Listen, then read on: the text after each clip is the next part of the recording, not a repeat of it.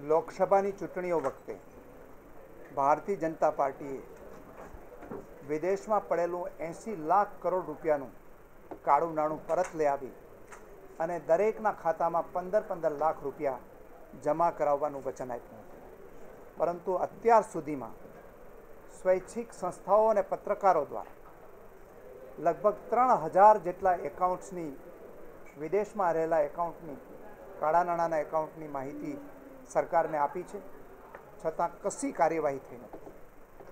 ગઈકાલે જ જે યાદી આવી પનામા પેપર લીક્સના નામે, એમાં પણ પાંચસો જેટલા ભારતીયોના ખાતા બ્રિટિશ વર્જિન આઇલેન્ડમાં પડેલા છે અને એમાં અમિતાભ બચ્ચનથી માંડીને અનેક નામી અનામી લોકોના નામો બહાર આવ્યા છે.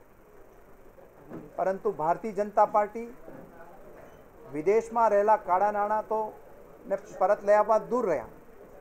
પરંતુ આ દેશની જનતાના નાણાં ઉચાપત કરી જનારા છોટે મોદી હોય કે વિજય માલ્યા હોય, એ બંનેને વિદેશ ભગાડવાની અંદર આ નરેન્દ્ર મોદીની સરકારે સક્રિય ભૂમિકા ભજવી છે.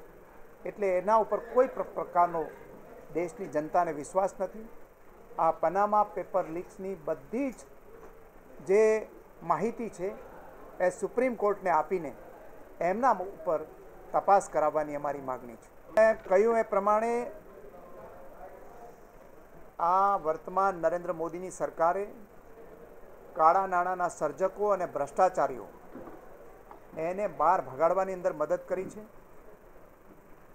પનામા પેપર લીક્સમાં પણ અમિતાભ બચ્ચન જેવા સેલિબ્રિટી એના પરિવારજનો અનેક ભાજપ સાથે સંકળાયેલા ઉદ્યોગપતિઓ પોલિટિશિયનો અને બીજા અનેક લોકોના નામ આવેલા છે.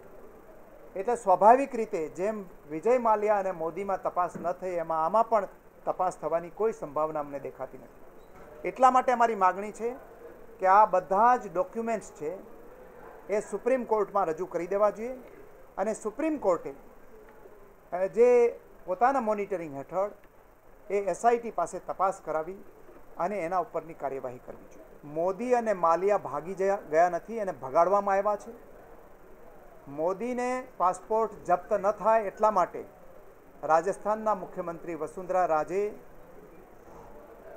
ત્યાં લંડનની કોર્ટમાં જઈ અને એફિડેવિટ કરી હતી અને વિદેશ મંત્રીએ, વર્તમાન વિદેશ મંત્રીએ ત્યાંના વિદેશ, લંડનના વિદેશ મંત્રાલયને ચિઠ્ઠી લખીને એમનો પાસપોર્ટ જપ્ત કરવામાં નથી આવ્યો.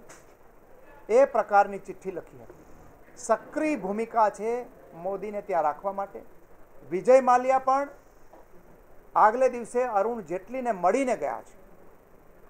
અને બધી એજન્સીઓ જોતી રહી અને દસ કરોડ રૂપિયા, દસ દસ હજાર કરોડ રૂપિયા બેંકોના જમી જનાર. અને જેમનું કાળા નાણાંનું એકાઉન્ટ બ્રિટિશ વર્જિન આઇલેન્ડમાં છે એવા વિજય માલ્યા પણ ને પણ અહીંયાથી ભગાડી દેવામાં આવ્યા છે. એટલે આ બધા કામોની અંદર ભારત સરકાર, ભાજપની સરકારનો સક્રિય ભૂમિકા છે. એટલે એ કોઈ સંજોગોમાં પનામા પેપર લીક્સની તટસ્થ તપાસ કરી શકે નહીં. એટલે આ બધા જ પેપર્સ છે સુપ્રીમ કોર્ટમાં જમા કરાવી અને સુપ્રીમ કોર્ટે એસઆઈટી મારફતેની તપાસ કરવી જોઈએ. Thank you